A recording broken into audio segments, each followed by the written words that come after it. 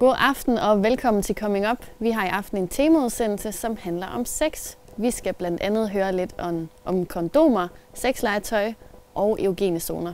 Det lyder helt vildt spændende.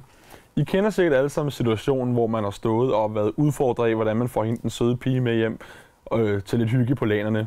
Derfor så har vi lavet den ultimative guide til den perfekte scoremætter. God aften. Det er sgu øh, ved at blive vinter. Det er koldt. Man har huer på, man har handsker på.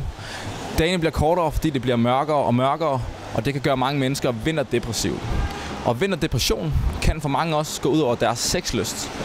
Derfor så vil vi i dag øh, give lidt tips til, hvordan man kan ved hjælp af mad lave en rigtig liderlig middag, som kan gøre, at man måske får lidt af lysten til sex tilbage.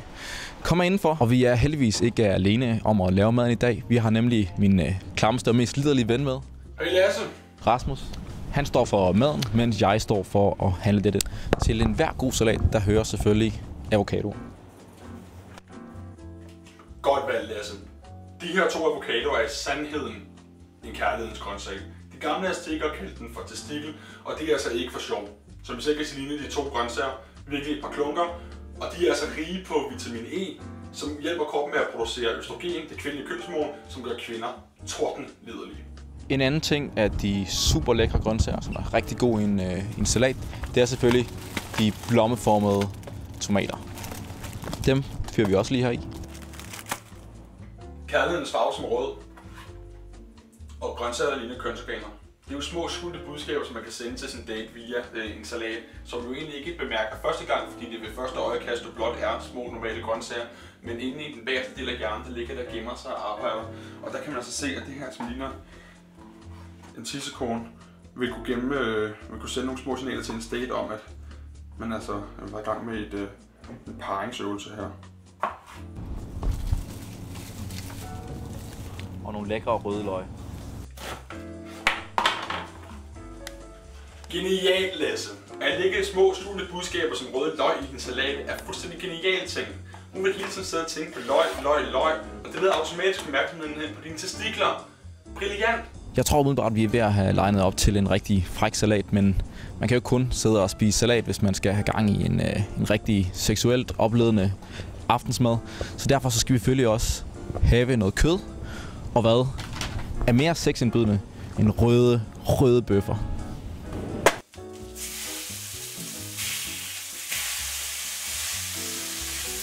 Rødbøffer er nemlig et rigtig godt valg, hvis man skal have en romantisk middag. Smag af det rødt kød, som de her to entrecôte-stykker, de øh, hjælper nemlig kroppen med at fjerne et hormon, som øh, hæmmer øh, sexlysten, og som kan være jo rigtig, rigtig trist, hvis man skal have en aften. Og ja, når man laver de her røde bøffer, så er det super vigtigt, at de ikke nødvendigvis får for meget. Fordi sådan nogle blodige røde bøffer, de er nemlig med til at medbringe, øh, eller frembringe det dyriske instinkt i mennesket. Og en af uinstinkterne, som du jo også har, det er lysten til sex. Vi nu også lige et par øh, baguettes med til maden, fordi at, øh, man skal jo spise brød til. Eller hvad, Rasmus? Nej, nej, nej. Hvad fanden tænker du på, Lasse? Hvidbrød er et totalt no-go, hvis man gerne vil have sex. Hvidbrød det sørger nemlig for, at kroppen det udskiller og forbruger, og forbruger øh, sukkerprodukter i kroppen meget, meget hurtigere. Og det gør, at dit energiniveau lige pludselig styrtdykker. Tilbage med dem. Nå, i stedet for så øh, går vi lidt videre, fordi at, øh, man kan jo ikke bare sidde og tørste under en, øh, en fræk middag, så følg med herover. Og vi skal selvfølgelig også have en flaske rødvin med til maden. Om det er til en, øh, en Tinder-date eller en aften med kæresten i parforholdet, er sådan set lige meget. Det går super godt til de røde bøffer og er en helt sikker vinder. Rigtig god lille Lasse. Rødvin det har nemlig også nogle stoffer i sig, som øh, hjælper øh, blodet med at suse hurtigere igennem kroppen. Det er altså noget, der gør folk ophidset. Så et glas rødvin til maden er en rigtig god idé, hvis man gerne vil gøre sin partner ophidset. Vi skal selvfølgelig også videre til desserten. Og hvad er mere potenst og sexet inden? Bananer. God idé, Lasse. Når mændene de kunne sidde og kigge på blommetomater og fantasere om kvindens kønsorgan, så skal pigerne selvfølgelig heller ikke snydes. De får derfor en omgang bananasplit, så de kan sidde og fantasere om mandens kønsorgan med de her falderslignende bananer. Og en hver god bananasplit, der skal der selvfølgelig chokolade. Det aller, aller bedste med mørk chokolade, fordi det indeholder meget kakao. Og kakao, det, er altså, det indeholder en masse forskellige øh, små øh, naturlige stoffer og øh, ingredienser, som øh, øger øh, kvinder og mænds sexlyst, fordi der bliver øh, udløst øh, dopamin i hjernen, som er det samme stof, som også bliver udløst, når man faktisk får en orgasme. Så orgasme, det kan komme i mange former. For eksempel små stykker chokolade. Puha, det var godt nok både øh, hårdt og stressende at, at handle så meget ind, så jeg tænker, jeg lige vil ryge en, øh, en enkelt cigaret, inden jeg smutter hjem til Rasmus. Hvad mener du om det, Rasmus? Er det en, øh, en god idé? Nej, nej, nej. Det er en idiotisk idé, Lasse. Udover at du får totalt dårlig ånde, som skrænder partneren væk, så er det også fuldstændig hul i hovedet at stoppe blodtilførselen til kønsorganerne med røg. Så i stedet for at tage du en gulderod og komme hjem til mig, så er maden ved at være klar. Okay, okay, okay, okay, Rasmus. Den ryger væk, og jeg ryger ikke. Men nu er det vist også på tide, at jeg kommer hjem og ser, om du egentlig har helt styr på det hjemme i køkkenet. Så er Lasse endelig kommet hjem, og vi er nu fuldstændig klar til at afprøve vores smækre, romantiske og forhåbentlig tordne liderlige den. Vi håber, at bøffen og salaterne kan gøre os vilde varme. Vinen kan hjælpe godt til, så vi kan få en rigtig hyggelig aften. Manuel Mange. Og jeg må godt nok sige, at øh, altså, ved første øje, øjekast, så bliver jeg allerede liderlig både af Rasmus øh, påklædning. Det er lige ja. Jeg selv allerede bare ved, ved duften får lyst til at smide mit eget tøj, fordi at jeg bliver simpelthen så liderlig. Så opstemt. Lad os smage på den, Lasse. Ja, lad os gøre det. Jeg ved ikke, om I kan se det, men det er faktisk fuldstændig rødt, det er lækkert. Mm. Blodigt og saftigt. Som om jeg var en, en urkriger, der på en eller anden måde havde været ude og slagte mit eget dyr. Er du med nu? Fuldstændig, fuldstændig midt og halvliderlig. Må man ikke, der er, er plads til en lille dessert også? Og når den ser så lækker ud, som den gør der, så... øh, Hvad siger du til, at vi tager vores hjemmelavede bananaspil over i sofaen og sætter os med? Jeg tænker, jeg tænker, vi springer sådan rimelig hurtigt til desserten. Hvordan kan det egentlig være? Jamen det er fordi, at man skal passe på med at have øh, for meget mad i maven, hvis man gerne vil have sex. Fordi hvis du spiser en særretsmenu og bliver fuldstændig proppet med mad, så mister du også energi. Øh, du bliver simpelthen forstoppet, øh, og derfor så øh, mister du simpelthen lysten til sex. Så et godt trick, hvis du skal øh, sørge for at bevare din sexlyst, det er simpelthen at spise lidt mindre. Ej, Lasse. Mm-hmm. Ved du hvad? Al den her lækre mad og rødvin har, har givet mig lyst til at nuse lidt. Ej, også mig. Skal vi ikke på tæppet på, og så bare, Jo. så bare ligge os og nuse lidt? Ja. Du ved jo godt, hvad, hvad nus betyder mange steder, måske. Skal vi ikke se lidt Netflix? Jo, lad os se lidt Netflix. Ja. Så laver vi Netflix and chill. Netflix and chill.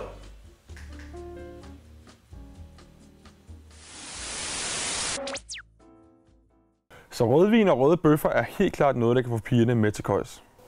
Ja, og når man så har fået dem med ind i soveværelset, så er der jo nogle andre ting, vi skal være opmærksom på. De eugene zoner er altså noget, de fleste af os hverken ved, hvor mange vi har af, eller hvor de sidder. Se med her. Din krop kan på tusindvis af måder give dig seksuel nydelse. Eugene zoner dækker dig fra top til tå. Men på grund af vaner, uvidenhed og tabu, risikerer du aldrig at opleve dem. Nye erogene zoner mylder frem, hvis de får opmærksomhed. Eller nye. De har nok været der hele tiden, bare mere i baggrunden. Delvis ubrugte områder i min krop, som har ligget delvis brak. Nu bliver de taget i besiddelse og taget under kærlig behandling, og det viser sig overraskende, at den gamle følsomhed ikke er død. Den har bare holdt flyttedag. Kroppen består af en lang række erogene zoner. Maria Markus blev tvunget til at udforske sine, efter en operationsulykke, der gjorde hende lam fra livet og ned. Og derfor er hun rigtig, rigtig opmærksom på, hvad man kan mærke inde i sin krop. At man ikke bare tænker, nu skal vi have fingeren derned, eller pikken op, eller hvis man må sige det. Det må um, og øh, så frem og tilbage, og så skulle den gerne være hjemme, ikke? Så jeg tror, at alle områder kan erogeniseres, altså sensualiseres i hvert fald, ikke? Men nogle er mere oplagt end andre.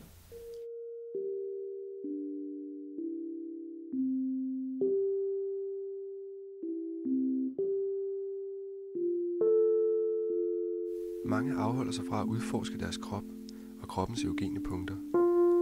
Men hvorfor er der ikke flere, der dyrker denne side af deres seksualitet?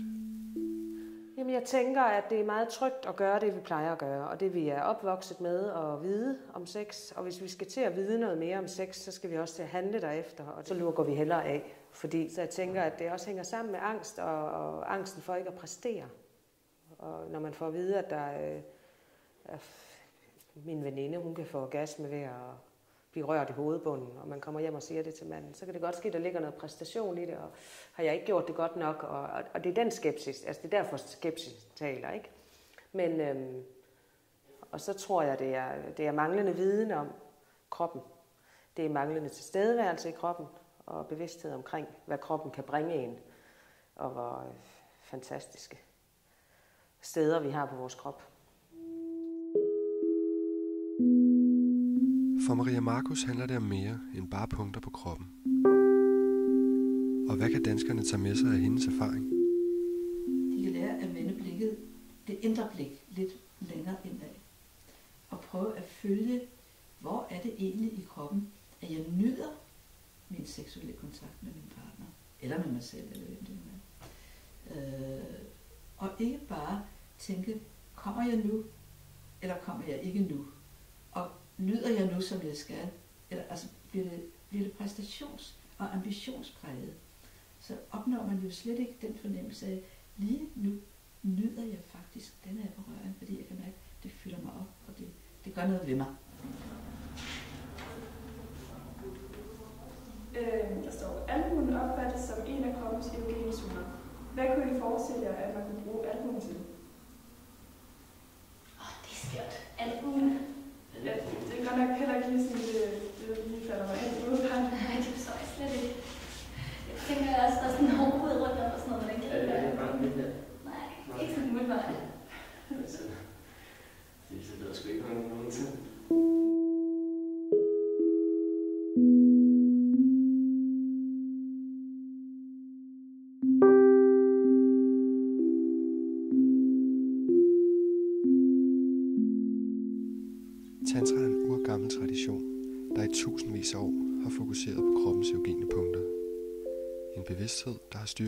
styrket fysisk, psykisk og seksuelt.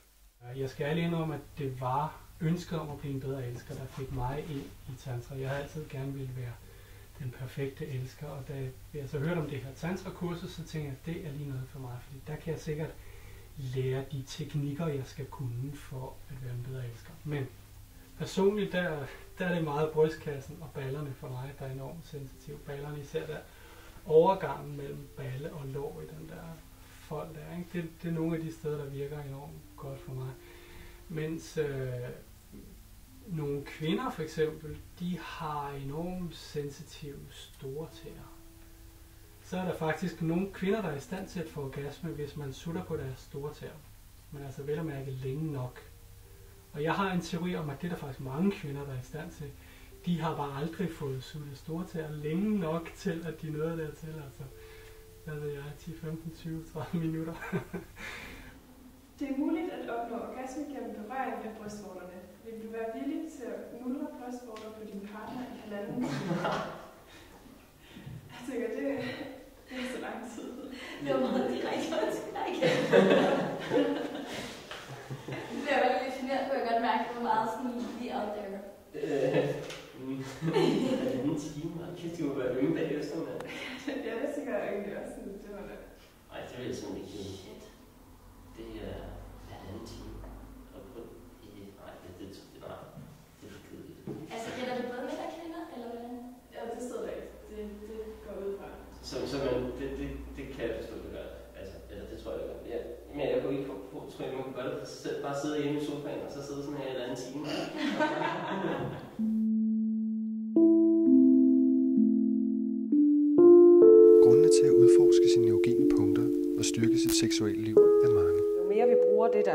er rigtig eksempelvis hvis det var knæhæsen eller baglåret, ballerne, så øh, jo, jo nemmere er det for os at komme i kroppen, og jo mere fantastisk bliver sex. Og sex er helende øh, og stressnedsættende og jamen, blodtryksnedsættende og alt muligt. Der er alt muligt gode ting ved sex. Og, og vi går i virkeligheden og er rigtig ulykkelige, hvis vores seksuelle liv ikke fungerer. Altså, jeg ved for eksempel, at jeg har eugene pegefinger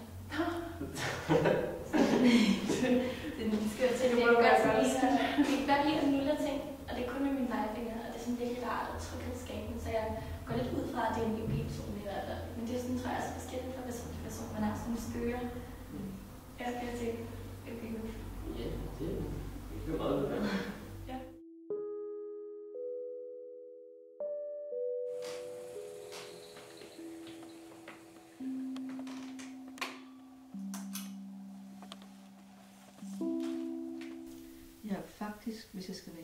så har jeg mere glæde af sex i dag.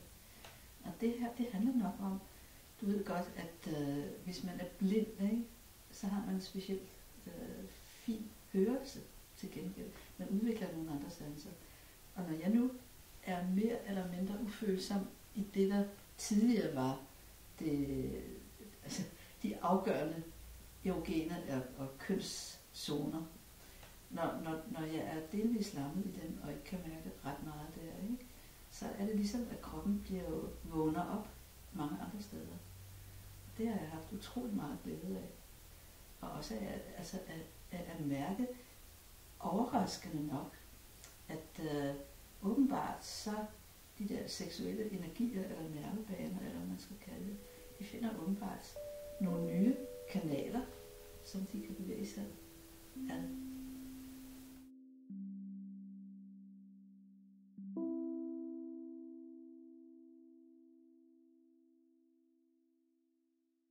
Så det kan altså godt betale sig at sætte sig ind i, hvor de eugene zoner sidder.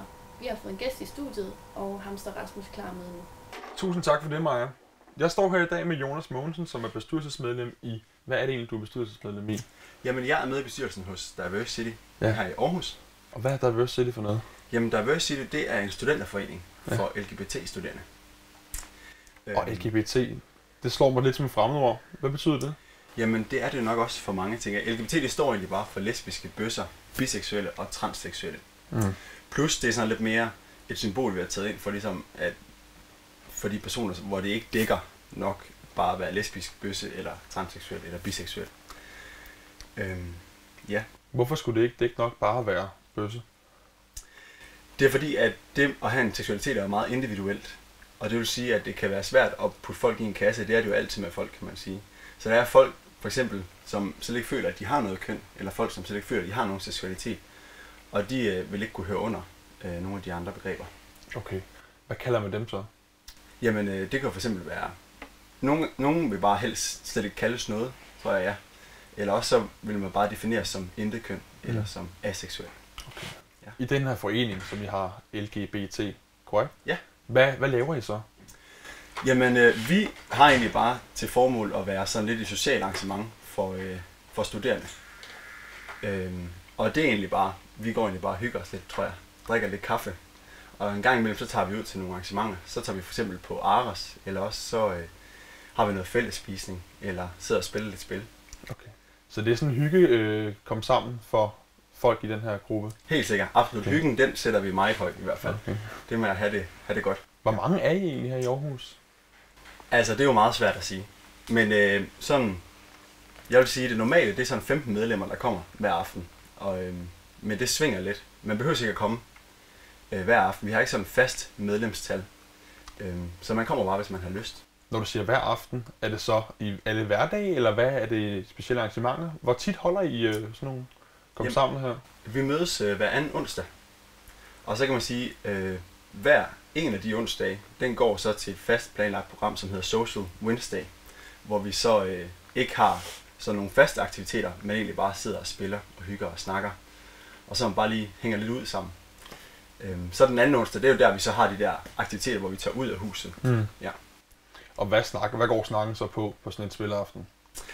Jamen, øhm, hvad den sådan egentlig normal vil gå på, tror jeg, jeg tænker, hvis er så, man synes, at det er lidt hårdt at være i den, altså at være sammen med sine klassekammerater, eller sådan noget. Hvis man har noget på studiet, der går ind lidt på, så sidder man og snakker om det. Mm. det. Vi sidder som sådan ikke og snakker om seksualitet, eller spring ud i historie, eller de der sådan mere dybe ting. Øhm, det er mere sådan indforstået, tror jeg, i, samf- i, øh, sådan i samtalen, Mm. at øhm, man kommer meget fordomsfuldt til hinanden, og lytter til hinanden, uden at øh, man behøver at have fokus på sin seksualitet. Ja. Det vægter vi meget højt. Okay, men jeg tænker lidt på, at når I nu har sådan et, et, øh, en arrangement og en lille klub for jer, som I ser jer selv som værende lidt ved siden af samfundet måske. Mm. Hvordan kan det være, øh, at det, kan det gavne, hvordan kan det gavne øh, jeres øh, forståelse, altså altså resten af samfundets forståelse for jeres øh, seksualitet, som, eller hvis man noget har en seksualitet, hvis man holder sig i sine egne små grupper, mm. som I gør? Jamen altså, hvis man skal definere sin egen seksualitet, så kan det være meget tungt at gå rundt med selv. Så er det rart at møde øh, mennesker, som har det på samme måde. Mm. Og man så kan ligesom dele erfaringer, og dele værdier, og dele meninger, og så på den måde blive klogere på sig selv, men også blive klogere i et fællesskab. Og det er jo nok også der, at det så bliver nemmere at række ud over til resten af samfundet med et... Øh, det vi gerne vil række ud over til resten af samfundet med, det er et, et øh, ja, diversitet, Mm. mangfoldighed. Ja. Og det med at øh, måske få afkræftet nogle fordomme. Hvordan kan I mærke konsekvenserne af jeres arbejde? Øhm, jamen det kan vi vel i at se, at, at folk har det rart, Mm. og folk øh, gerne vil komme til vores arrangementer. Ja. ja. Og det føler I? Det føler vi, Ja. bestemt. Vi, Ja. øh, vi har meget stor tilslutning lige i øjeblikket. Okay. Hvor lang tid har det stået på her i Aarhus, det her øh, miljø? Jamen altså egentlig så blev det oprettet i 2010-2011 af sådan fire universitetsstuderende. Øhm, og det var egentlig bare også med et socialt formål. Der var ikke rigtig nogen organisering. Men den sådan rigtige organisering, den kom i 2012. Okay. Ja. Okay. Og hvor lang tid øh, har I nogle fremtidsudsigter for jeres øh, Diverse City-projekt her? Ja, men altså egentlig ikke ud over, at det bare skal være et socialt arrangement stadigvæk. Vi har ikke så nogen større mål end det. Nej. Men øh, ellers så øh, øh, har vi faktisk øh, planlagt et arrangement nu her til næste forår, hvor Ja. vi så skal holde et foredrag om LGBT-historie. Øh, og så har vi været ude og søge penge til det også. Så øh, det har vi lige fået. Så sådan lidt større arrangementer, det vil vi nok også gerne til at afholde. Ja, altså større arrangementer, som handler om at udbrede viden og øh, oplysning om, øh, om emnet. Helt sikkert. Og hvad vil det kunne hjælpe med? Jamen det vil nok kunne sætte opmærksomhed på, øh, hvordan LGBT øh, personer har det i samfundet Mm. mm. lige nu. Og egentlig så vil jeg sige, at for homoseksuelle, vi har det måske ikke sådan aller værst, men der er jo grupper som biseksuelle og transseksuelle, der faktisk har det rigtig svært og møder rigtig mange fordomme. Mm. Øhm, Kan du prøve at sætte nogle ord på, hvordan de har det svært?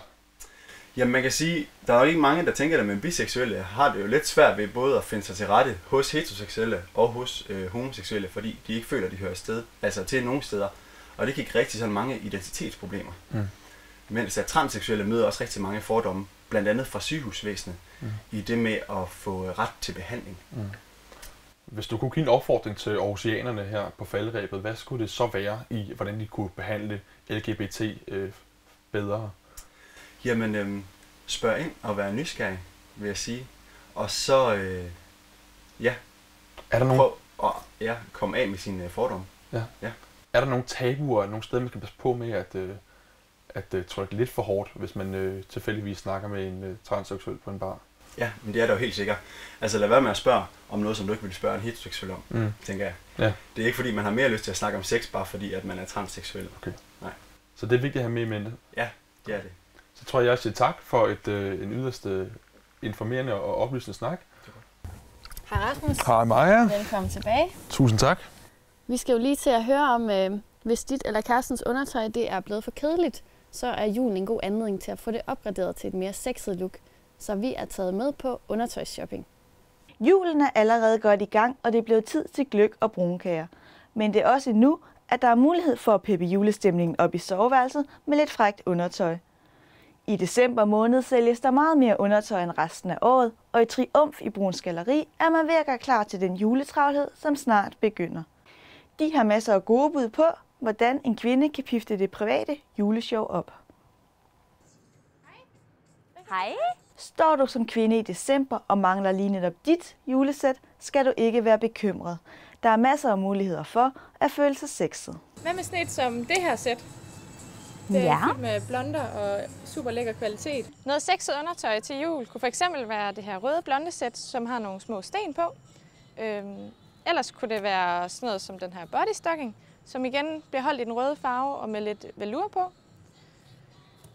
Det kunne også være sådan noget som det sorte sæt her, øh, med lidt push-up i, som er rigtig godt til julefrokoster. Er det sådan noget, vi er over Det- i, eller? Det er så nærmest helt korset. Har du noget sådan lidt, lidt mere afdæmpet? Ja, det kan du tro uden korset. Ja. Hvad siger du til sådan noget som den her? Den har rød, og så har den lidt push-up i, øh, så det giver en lidt større barm. Ja. En lidt bedre effekt. det var jo fint. Den er sådan lidt juleagtig. Ja, kan den er lidt juleagtigt, fordi det er lidt en del af vores øh, hvad skal man sige, juleserie. Har du noget måske lidt mere sådan roligt? Det kan du tro. Så har vi sådan noget som den her model. Den er så glat i skålen, men den har stadig lidt blonder på sig. Og den er rigtig god, hvis du for eksempel skal have en stram kjole på, for så kan man ikke se blonden. Når mange mænd kommer ind den 23. december for hurtigt at købe den sidste gave, vælger de ofte denne model fra. Tit har de dog ikke helt styr på kvindernes mål. De vælger ofte for stor omkreds for lille skål og for lille trusse. Altså det mændene går efter, når de køber gaver til deres kvinder derhjemme til jul, det er primært udseendet. Og det må gerne være også have en farve, fordi nogle gange siger de, at det er så kedeligt, de går i sort undertøj eller, øh, eller hvidt. Når mænd skal vælge undertøj til kvinder, går de efter sexede blonder og farver. Men der er ikke meget frækt ved en blonde BH i for lille størrelse, hvor man får dobbeltbryst og stramme mærker. Skal jeg lige prøve at måle dig en gang? Undertøj er bare mere sexet, når det passer i størrelsen. Men når kvinder skal købe undertøj, vælger de efter, om det sidder godt og passer til tøjet. Det er vigtigere end det topsexede look. Det kvinder de går efter, når de skal ud og købe undertøj, det er først og fremmest komforten, for det skal altså sidde ordentligt. Øhm, men det skal selvfølgelig også være pænt, så de vælger sådan noget, der både sidder pænt øh, og føles rart. For eksempel også, hvis de bruger øh, tøj, der sidder stramt, så vælger de tit blonden fra, fordi den skal man helst ikke kunne se igennem tøjet. Noget af det, vi sælger bedst herinde, det er den her sorte model, øh, som har lidt blonde og lidt push-up uden for meget, og sidder godt på stort set alle.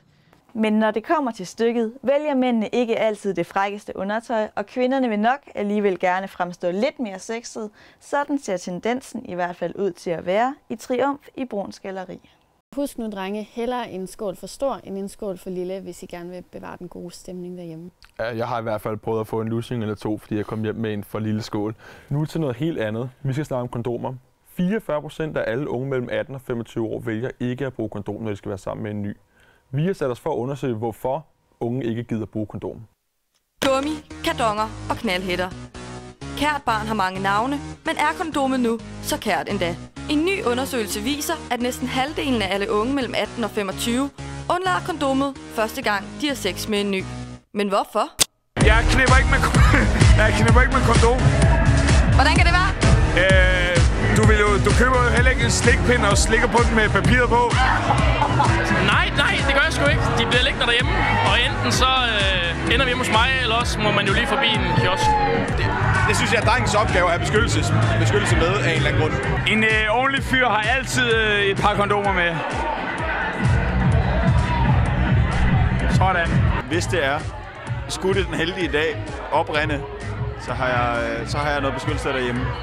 Øh, jeg har ikke noget imod, at, øh, at jeg lige får lidt klamydia, hvis øh, jeg kan få noget god sex. Det er okay.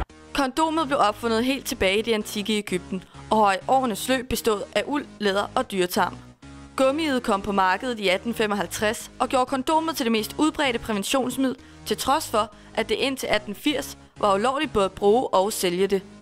Kondomet er til dels blevet udkonkurreret af andre præventionsformer, såsom p-piller og spiral. Og det er til trods for, at kondomet er den eneste form for prævention, der også beskytter mod sexsygdomme. Så husk det nu. Ingen putten, uden dutten. Så husk nu kondomet næste gang, du skal forføre et one-night stand. Danskerne de er blevet meget glade for sexlegetøj, så derfor er vi taget ud til Danmarks største leverandør, Sinful. Mange danskere har sexlegetøj liggende hjemme i soveværelset. En undersøgelse fra Alt for Damerne viser, at 63 procent af kvinder har noget liggende hjemme i skuffen, og 43 procent bruger det med deres partnere. Sinful er den største leverandør af sexlegetøj i Danmark. De har hovedkontor og lærer i Aarhus, og her finder man alt fra specialiseret fetish-udstyr til lækre designprodukter. Jamen, så man kan jo bruge sexlegetøj, i hvert fald for mig at se, til at lege med. Og det er meget det, jeg oplever, at folk de gør. De bruger det som sådan et legeredskab. Fuldstændig ligesom børn har legetøj, så har voksne også det her legetøj, der bare hedder sexlegetøj. Vi kunne i princippet bare kalde det legetøj for voksne. Hvis vi skal finde noget, der er sådan lidt mere skørt, så har vi det her. Det kan du nok ikke lige umiddelbart se, hvad er, kunne jeg forestille mig. Men øh, lad os lige åbne det er sådan en lille æggebakke. En sixpack. Og inde i det her, der har vi faktisk et, øh, et æg, som man kan åbne. Nu skal jeg lige finde åbningen. Den er her. Det er et mandeprodukt. Inde i det her æg, der er der et andet æg, som ligner faktisk lidt sådan noget æggehvide. Det kan strække sig, og det kan man faktisk bruge som sådan et håndjob på manden. Yes. Altså, sexlegetøj er rigtig mange ting. Der er nok mange, der forbinder sexlegetøj med, at det er måske en dildo for eksempel. Men sexlegetøj er jo alt fra ting, vi kan binde med, fra glidecremer, olier, massagecremer. Det kan være altså, også dildoer og vibrator, men også ting, mænd kan bruge. Så der er, sådan, der er sådan en hel verden fuld af de her ting, og også meget mere, som er mere sådan fetish-orienteret, øh, som er sådan endnu mere kinky. Så der er virkelig noget for enhver smag. Og det, jeg står med her, det er det, man kalder en magic wand. Og det er, betyder også en tryllestav. Og det gør den jo af, det betyder det jo af flere, flere grunde. Det er ikke en mikrofon, det kunne det godt ligne. Men det er simpelthen sådan en super, super kraftig vibrator. Man kan heldigvis også skrue den meget langt ned. Men det er simpelthen den her vibrator, som er, øh, kan man sige, har orgasmegaranti, er der mange, der siger omkring det. For det er simpelthen næsten umuligt ikke at få en, en eller anden form for udløsning. Og det er både mænd og kvinder, der kan bruge den her. Sinful sælger til både Danmark, Norge, Sverige og Finland og har over 110.000 ordre om året. Alt salget foregår online, og produkterne leveres anonymt. Det er sådan, at danskerne de er en lille smule mere bramfri, end vi ser i de andre skandinaviske lande. Dog er sådan nogle øh, som nordmændene også ret meget fremme i skoene på det her punkt. Og jeg tror, det har noget at gøre med, at vi i Danmark og for eksempel Norge har haft stærke personligheder inden for seksualitet, der har turde tale omkring sex generelt set. Mm. Det er sådan, at de kunder, vi har, det er faktisk alle typer. Det er oftest parret dog, så vi ser også, at det sådan bliver 35 plus op efter. Rigtig mange tror, det er de unge, der køber rigtig meget sexlegetøj. Men det er faktisk dem, der er lidt mere modne og som går lidt mere op i kvaliteten. Og det her med at have det gode parforhold, hvor vi leger meget, det ser vi også ofte hos 35 plus. Det er learning by doing. Du er nødt til at finde ud af, hvad du kan lide. Og du er nødt til at prøve det for at finde ud af, om du kan lide det. Det er lidt ligesom at for at finde ud af, om et par bukser sidder godt. Så er du nødt til at prøve dem for at finde ud af, hvordan passer de til mig. Øh, det er så bare ikke altid lige så nemt at, at prøve et par bukser, eller prøve sexlegetøj, som at prøve et par bukser. Men man er nødt til at prøve sig frem. Vil du gerne vide mere, så gå ind på deres hjemmeside og få inspiration til leg i soveværelset. Det var alt, hvad vi havde for i aften. Jeg håber, og meget gør også, at I er blevet lidt klogere på sex. Ja, og husk at følge os på Instagram og Facebook. Vi ses næste onsdag.